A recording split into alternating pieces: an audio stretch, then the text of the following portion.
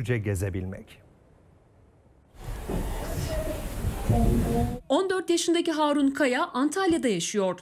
4 çocuklu bir ailenin en büyüğü.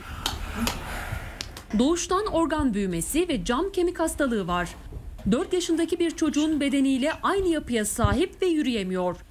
Yaşı ilerledikçe hareket kabiliyeti de zayıflıyor. Güler yüzüyle evin neşesi olan Harun gezmeyi çok seviyor. Ailesi doktordan engelli aracı kullanabilir raporu aldı. Ancak ailenin maddi durumu bunu temin etmeye yetmiyor. Harun'un en büyük isteği ise akülü arabasıyla gezebilmek.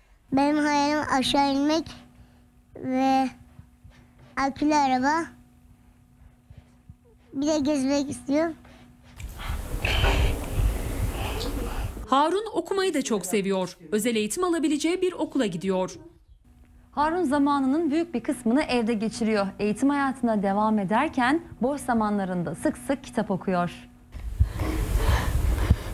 Harun'un hayallerinden biri de bir tablete sahip olabilmek. Tablet istiyorum. Beyaz bir tablet. Bembeyaz. Harun sahip olamadığı akülü arabasına binip gezmenin hayalini kuruyor. Akülü araba al- alacağım tabletle. Aşağıda oyun oynayacağım. Sonra bahçede oynayacağım, oturacağım sonra arabama. Arabanı süreceksin böyle heyecanlı mısın? Evet. Hem de çok.